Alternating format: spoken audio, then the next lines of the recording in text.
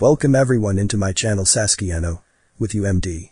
If you've ever wanted to create an animation where one layer to composition follows another layer parenting is a technique you want to investigate. Let's start this off by watching the reference composition. So we can see what it is we're going to build in the project panel. In the finished reference composition folder double click on the finish reference comp, then press the space bar. Angle C we have a robot arm that animates him and magnifies as the letter A onto the magnet. Now I just want to focus on this section of the animation the arm. So I've already animated A and the little magnet lightning bolts.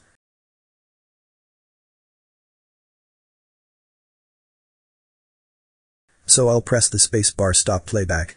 Let's go back to the control with parenting start composition. By clicking on it in the timeline here in the upper left corner. Now in order to build this, let's set the relationship of these layers working from the bottom up. So the background there is fine it's not going to animate.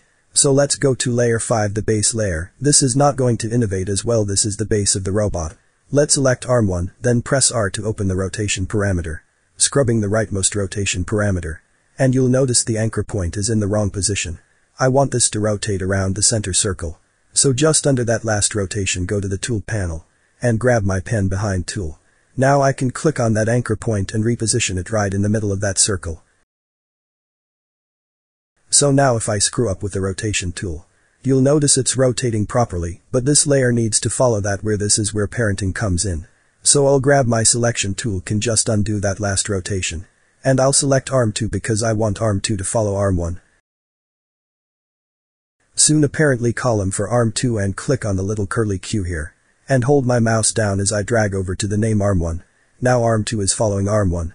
Should be the same process select the top layer and have the top layer follow him too. So click on its pick whip included arm 2. Now if I screw up you can see all the layers are moving together. So let's undo the lasso rotation here and set some keyframes. Then like here to hold down shift and click on layer 4, then press R to open the rotation parameter. And click on the stopwatch to set our first keyframe. Move the current time indicator to 15 frames on the timeline. And deselect all the layers just by clicking any entry space in between the layers. Now scrub on the rotation parameter for R1 until that layer is pretty much vertical in the scene. Also to a value of 69. Let's do the same thing here firm to scrub on the rotation value until that arm is parallel to the ground plane. I'll send it to minus 17. It says the rotation for the top layer. So that the bottom of the magnet is parallel to the ground as well also threaten minus 1. We scrub you can see we have successfully created our animation. I press the space bar you can see I even have the letter A popping into the scene. Well, press the spacebar gonna stop playback. Usually, these are stacked incorrectly, and the reason I didn't deal with that at first. It was because I like to set up the parent-child relationships with multiple layers from the bottom up. So we stack things according to how I wanted them to be linked. But now I can move my top layer below arm 2 saw click on the top and move it below arm 2. Now that looks correct and what's like the magnetic pre-comp in the position that below arm 1. Now we can see everything is actually set up properly. And we successfully executed our animation. So when it comes time to working with parents and layers, it's always wise to pay attention to the location of the anchor points, especially when you're working with rotation. Here we go we are done for today.